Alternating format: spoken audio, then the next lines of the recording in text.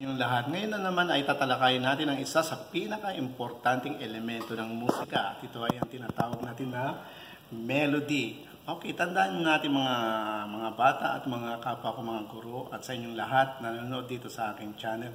Ang melody ay ito yung elemento na kung saan ay uh, umaakit sa atin para uh, makinig para uh, ating uh, magustuhan ng isang awitin o paulit-ulit natin itong pakinggan ay ito ay dahil sa tinatawag natin ng melody. Ano nga ba ang melody? Okay, pag sinabi nating melody, hindi ito yung uh, pangalan na tinutukoy. Ito ay isang elemento ng musika at ito ay elemento ng musika na nagsasaad ng kaaya-ayang pagkakasunod-sunod ng mga nota na bumubuo ng mahalagang bahagi ng isang awitin o kaya awit o tugtugin. Yun ay ang uh, kahulugan ng melody. So, bawat awit na naririnig natin o kaya nagugustuhan natin na paulit-ulit nating inaawit, yun ay yung uh, elemento ng musika na melody na kumbaga maakit sa atin. Ngayon, ang melody ay meron tinatawag na daloy. Okay, so meron itong tinatawag na daloy ng uh, uh, musika o kaya daloy ng melody. Una yung tinatawag natin na pahakbang o kaya stepwise. Okay. Sa pahakbang, meron tayong tinatawag na pahakbang na pataas at pahakbang na pababa. Narito ang halimbawa ng tinatawag natin na pahakbang na uh, pataas o kaya ascending. Okay, ascending stepwise. Okay. So, pag sinabi natin pahakbang, wala kang nilalaktawan na space. Okay, ito ay nagsisimula sa line, space, line, space, line. Then, kung pababa naman, uh, pababa o kaya descending stepwise, mag, pwede magsimula sa line, then space, then line na naman, then space, then line. Okay, so uh, itong halimbawa na nandito ay kinuha ko sa isang awitin na run and walk. Okay, ganito yan. Okay, ibig sabihin dahan-dahan. 1, 2, 3, 4, 5. Yung pagkakasunod-sunod niya. Para lamang umakyat sa hagdanan. Okay, so yun tinatawag natin na pahakbang o kaya stepwise uh, na bahagi ng melody. Okay, ngayon naman meron tayong tinatawag na uh, pababa o kaya descending, yung para kang bumababa sa hagdanan. Okay, ibig sabihin wala kang nilalaktawan ng isang bahagi. Walang nilalaktawan na space o kaya na linya. Okay, so sunod-sunod yan. Line, space, line, space, line. Okay, yun ay pababa naman. Parang ganito. Unti-unti. Wala akong nilalaktawan. Okay, yan ay tinatawag natin na pababa na uh, pahakbang. Okay. Uh, stepwise descending or descending stepwise. Yan yung uh, tinatawag natin na unang daloy ng melody. Okay. Yung pangalawa naman ay yun yung tinatawag natin na palaktaw. Okay. Palaktaw o kaya tinatawag natin na skipwise at sa skipwise o kaya palaktaw, meron din tayong palaktaw na pataas at palaktaw na pababa. Okay, kung inyo mapapansin, kapag merong uh, mga singers na bigla na lang umaawit na mula sa mababa, mababa, then bigla siyang sumisirit pataas, yun ang tinatawag natin na skipwise from a lower note to a very high note. Gaya ng ginagawa nila Morissette, nila Regine Velasquez, nila Sara Geronimo, at ang kilalang si Mariah Carey, sila Celine Dion, at sila Whitney Houston. Sila ay magaling gumawa na tinatawag natin na belting o kaya yung skipwise from uh, a low note to a very high note. Yun ay tinatawag natin na palaktaw na pataas. Okay, so yan, makikita nyo dito, palaktaw na pataas. Okay, then meron tayong palaktaw na pababa. Okay, so yung palaktaw na pataas, ito ay lumalaktaw ka ng space o kaya ng puwang. Okay, meron ka nilalaktawan ng puwang dito. Okay, so mapapansin nyo dito sa halimbawa dito, it, ang unang nota ay nasa ibaba ng first line ng stop. Okay, pagkatapos, may dinaanan ako na linya, then space, then sa linya ulit yung susunod na nota. Pagkatapos, meron na naman akong dinaanan na uh, space, then line, then meron akong uh, nota sa space. So meron akong mga nilaktawan.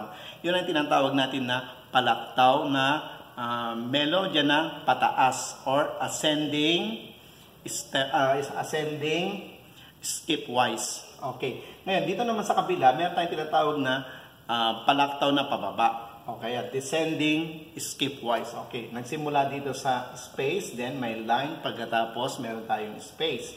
Okay, so paano yan? Ganito yan. Okay, so yung mga tono ay magkakalayo. Hindi siya sunod-sunod na katulad dito na ganyan.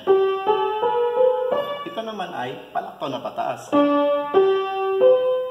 Okay, so mapapansin nyo may mga pagitan. May mga pagitan sila. Okay, so yun yung tinatawag natin na palaktaw na pataas o tinatawag natin sa English na uh, ascending skipwise. Then, yung isa naman, meron tayong palaktaw na pababa. Okay, descending skipwise. Okay, ganito yan.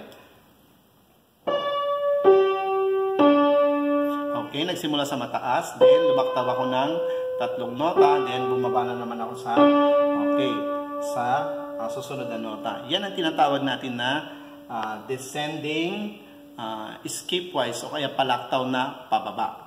Okay, ngayon, tumako naman tayo sa isa pang uri ng daloy ng melody. Okay, yun yung tinatawag natin na inuulit o kaya repeated. Ibig sabihin yung nota, yung, yung tono ay nandun lang.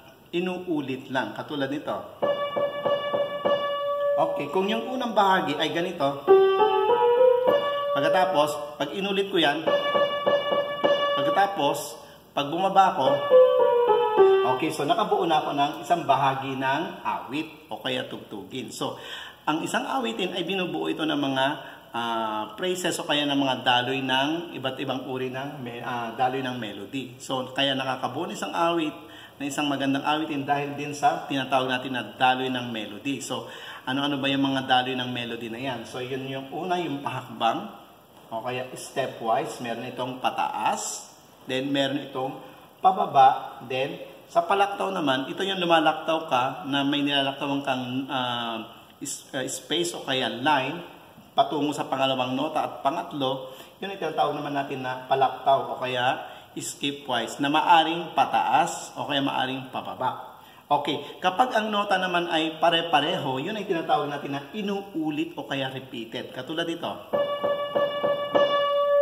Okay, so ang awiting run and walk ay meron nitong tinatawag natin na tatlong daloy ng melody. Okay, so si, ma, nung nakaraan na iniipaliwanag ko na sa uh, na ibigay ko na sa inyo yung uh, halimbawa ng awitin na ito. Okay, so tutugtugin ko sa inyo at ganito 'yan. Okay, sa unang bahagi ito ay tinatawag natin na stepwise.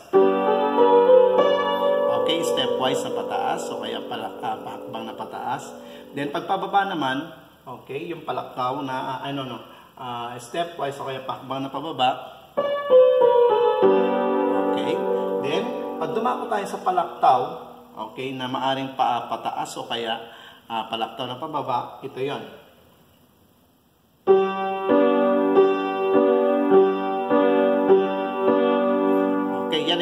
palaktaw. Ibig sabihin, hindi ko sunod-sunod na tinutugtog yung mga teklado rito kaya may walang mga nota na kasunod ng mga tinutugtog ko. Ngayon naman, sa inuulit, nandito sa baging sa itaas.